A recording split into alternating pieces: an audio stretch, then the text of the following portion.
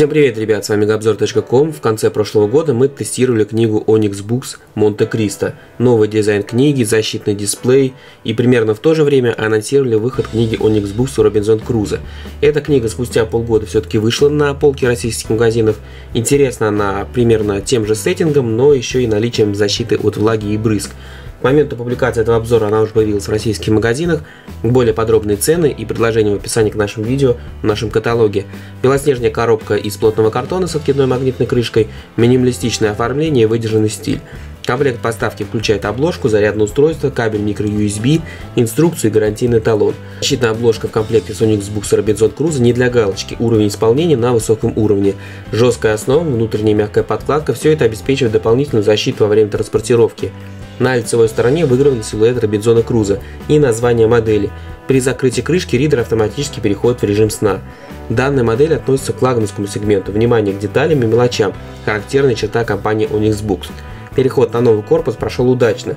Унаследованы наиболее удачные черты прошлой линейки и внедрены свежие идеи. Сам ридер стал компактнее, пропала механическая кнопка на лицевой стороне, вместо нее остался только логотип. Вся лицевая площадь покрыта защитным стеклом, это Asahi Glass в данном случае. Оно устойчиво к появлению царапин, ударам и сдавливанию. Между матрицей и защитной прослойкой отсутствует воздушная прослойка. Как показал опыт, его установка не повлияла негативно на четкость изображения и восприятие глазами.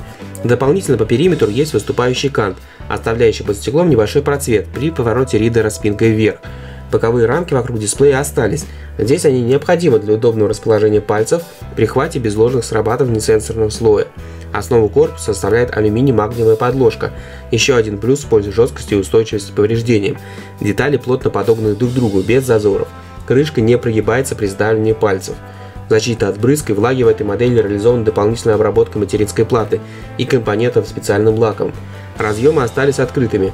Мы проверяли ее под потоком воды из крана и эксплуатацией ридера во время дождя. Единственное неудобство касалось проблем с работой сенсора, но и тут есть дублирование при помощи двух механических кнопок.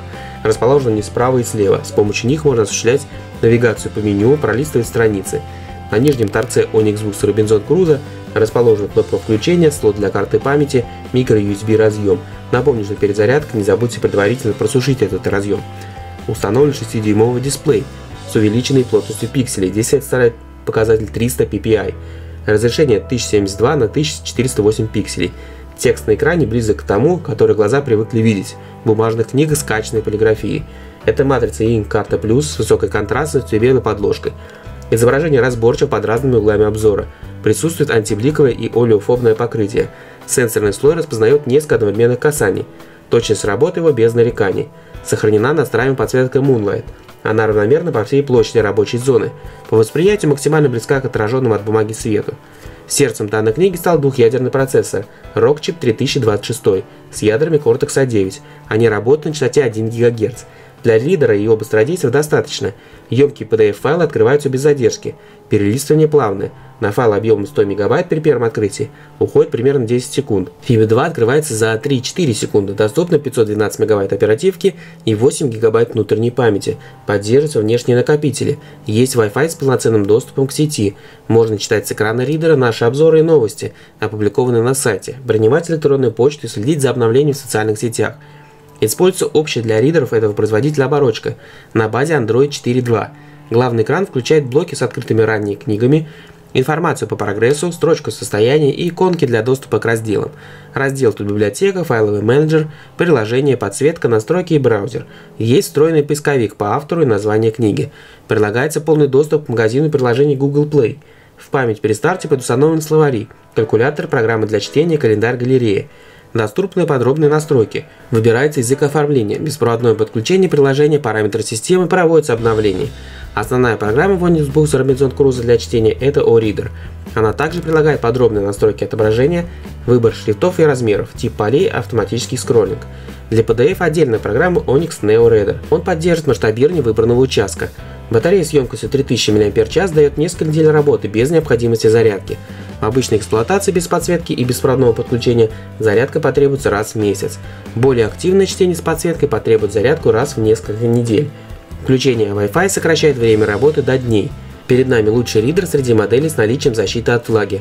Помимо этого, в Onyx Books Robinson Crusoe предлагается экран e Карта Plus, защитное стекло, металлический корпус, Wi-Fi, 8 ГБ встроенной памяти, двухъядерный процессор, оболочка на базе Android, длительное время автономной работы. С момента анонса данной книги и до старта продаж прошло 6 месяцев.